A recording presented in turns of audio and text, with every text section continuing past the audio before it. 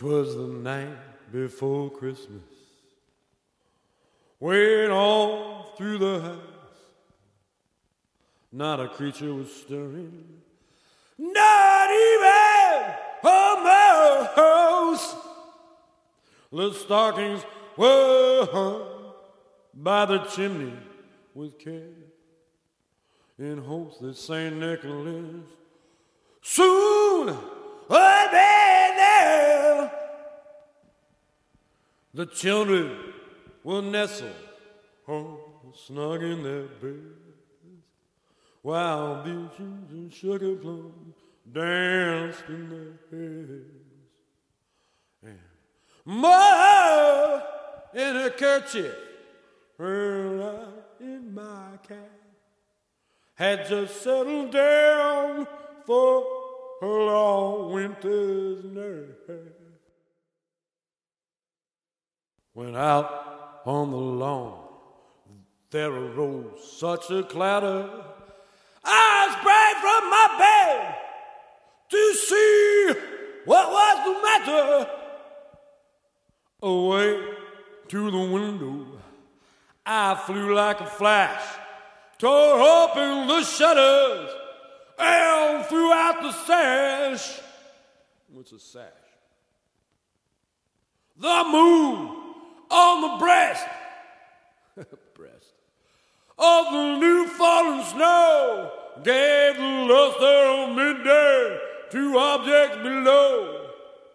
When what to my wondering eyes would appear but a miniature sleigh and eight tiny reindeer. The little old driver, so lively and quick, I knew in a moment it must be Nick. More rapid than eagles, his courses they came. And he whistled and shouted and called them by name.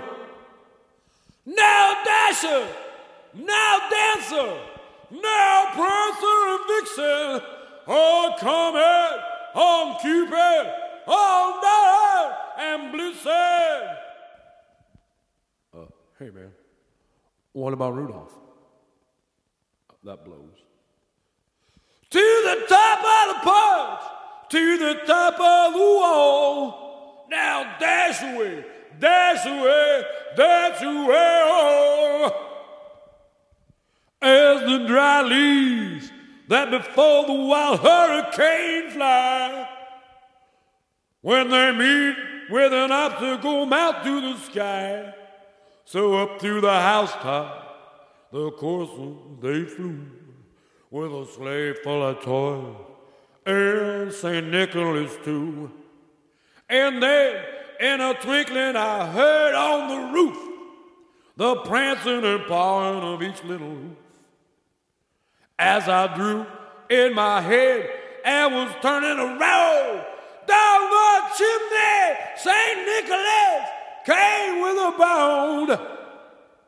He was dressed all in fur from his head to his foot, and his clothes were all tarnished with ashes and soot. A bundle of toil he had flung on his back, and he looked like a peddler just opening his sack. His eyes, how they twinkled, his dimples, how merry. His cheeks were like roses, his nose like a cherry. His droll little mouth was drawn up like a bow, and the beard of his chin was as white as the snow. The stump of a pipe he held tight in his teeth, and the smoke it encircled his hair like wreath. He had a broad face and a little round belly. There shook when he laughed like a bowl full of jelly. He was chubby and plump, right jolly old elf, and I laughed when I saw him in spite of myself. A wink of his eye, a twist of his head, soon gave me to know I had nothing to dread. I wasn't afraid anyway. Whatever.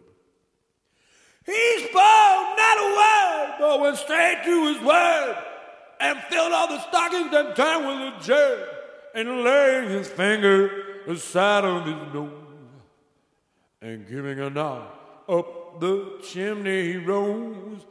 He sprang to his sleigh, to his team he did whistle, and away they all flew like the down from a thistle.